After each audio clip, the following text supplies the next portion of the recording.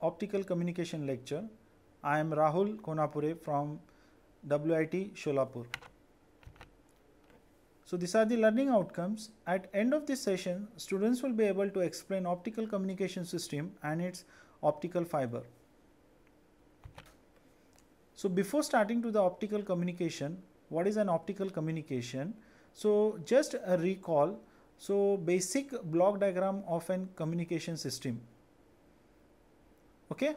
So now as shown in this figure A and B, so this is the basic block diagram of an communication system and this is an optical fiber communication system. There is a slightly a modification done in the uh, normal communication system here. So what are those? So we'll understand by looking at this diagram. Okay. So in basic uh, communication system, there will be an information source which can be a, a, text file or video file or the whatever the data you want to send here. Then this information source is given to the transmitter section that is an modulator. So that is known as an modulation. So here all the things of and modulations can be done at the transmitter side here. Then uh, whatever the signals are going to be there, first information signal is being converted into an electrical signal which is transmitted through an, a transmission medium. So the transmission mediums are of two types that are nothing but the uh, the radio communication that is a wireless communication and wired communication.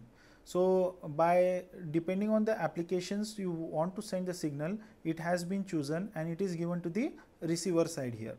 So here whatever the modulation you have done, so we have to get back the original signal which is there at the transmitter side.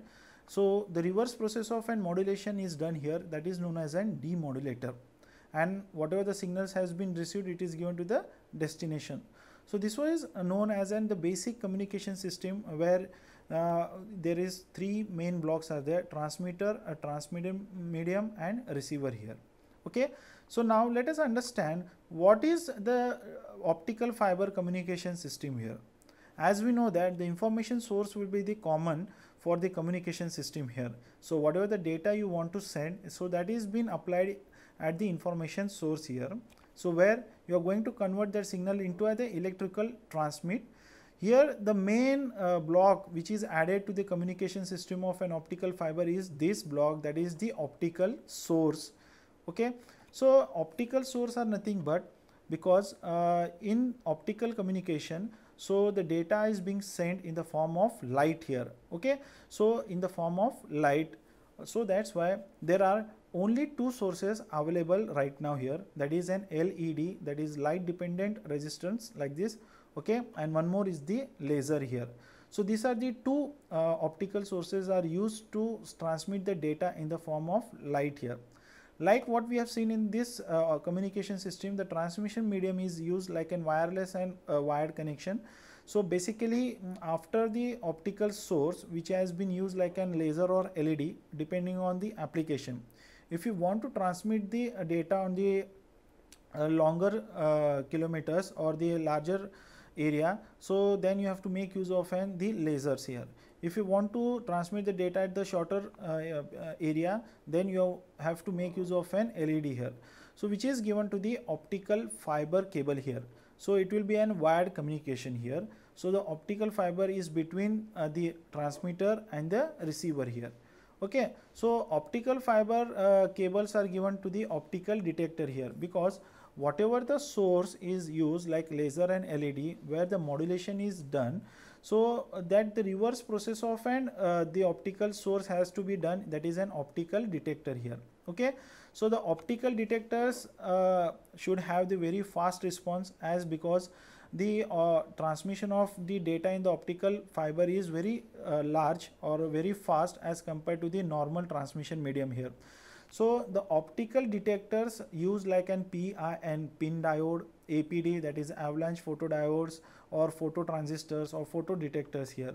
So these are the uh, so optical detectors used to detect the light whatever the data you want to there. And then again it will be an electrical a receive here. So that electrical signal is being converted into an original signal and that has been given to the destination here. Okay So a slight modification in the optical fiber communication is that that is the optical source as and as well as the optical detector because uh, the transmitting medium and the detecting mediums are different as compared to the normal communication system here. Okay. So this is the block diagram of an optical communication system. Now we'll see what are the advantages of an optical fiber communication.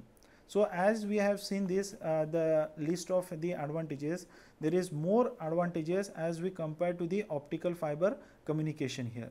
Okay, so the first and the most important thing about the advantage of using the fiber optical communication is the enormous uh, ba potential bandwidth. So as we know that uh, if you transmit the data in the microwave region it's up to 10 raised to 9 uh, gigahertz here. But uh, in optical fiber communication it can be used up to 10 raised to 12 to 10 raised to uh, 15 gigahertz okay terahertz of uh, data here. So that is the potential bandwidth okay. So when we see the optical fiber communication it, its size is very small and light in weight here so whenever you have seen the optical fiber communication so its size is very small and its weight is very less here okay? And next important thing is about the electrical isolation. As we are not going to transmit the data in the uh, copper or the wired material or wireless uh, so there is no any uh, interference of EMF uh, generation here. So that's why it is known as an electrical isolation.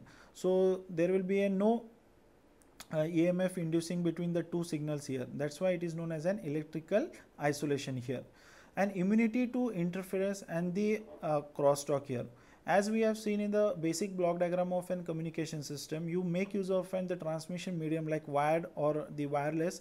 So there is a crosstalk in between the two signals here like FDM and TDM. So that's why we insert the guard beads into that. Because of this, the transmission of data in the form of light, so that is uh, avoided in this here because there is an electrical isolation between the two signals here. Okay. Next, most important thing about the signal security is what? you are transmitting the data in the form of light so that's why what happened if you try to tap that signal so the light will disperse in the environment here so it is very difficult to uh, trap or to hack that signal here. So that's why the most advantages of using the fiber optical communication is the signal uh, security here. And most important thing is that low transmission loss. As the optical fiber is made up of silica and glass so there is a loss transmission is up to only 0.02 uh, dB per kilometer, which is uh, very less as compared to the the transmission which is done in wired and wireless communication. So it is very less as compared to other here. Okay. And most important thing that is the system reliability and ease of maintenance here because uh, the optical fiber is laid down into the earth uh, so there is no any damages will takes place uh, like an wired communication here. So and it is easy to maintenance. Only the disadvantage of using the fi optical fiber communication is that while uh, installation of an fiber optical uh, it requires very high cost because uh, of uh, laydown of the optical fiber here and which is connected to widely for each and every city or the main main places uh, all over the world here. Okay? So uh, now we'll see the basic uh, structure of an optical fiber here. Okay? So up till now what we have seen uh, we have seen the basic block diagram of an optical fiber communication system. And after that we have seen the what are the advantages why we opt for an the optical uh, fiber here. Okay? So basically as uh, shown in this figure here so it consists of an core and cladding here. And above this there will be an one buffer coating and a mechanical coating of an black color here to avoid any damages here. Okay. So these are the now we'll see uh, the basic structure. What is there? Core inside which the light is going to uh, transmit the data here. Okay. So this is the thin glass at which the fiber core through which the light travel. Okay so it should follow the uh, total internal reflection. So we'll see all this in the coming lectures here. What is total internal reflection? How light should be traveled inside the core only. Okay. So the next part is the cladding here. So this is the outer material that protects the inner uh, glass core from the uh, elements and the light is reflected back into the core here okay? Because the light should transmit only in this core section here. So there has to be some medium one more that is the uh, n1 and n2 here. So n1 will be the uh, air suppose and n2 will be the glass here. That is the denser medium and the lesser denser medium so that it should follows the uh, law of reflection and law of refraction here because that light should stay inside the core only here okay and one more thing is that that is a buffer coating which is often the black color okay? So this is the plastic coating that protects the fiber from the damage and moisture from the outside world here. So it is the uh, black color coating which prevents or the protects the fiber from damage any damages here and the moisture from the outside world here okay? So this is the basic structure of an optical fiber here okay?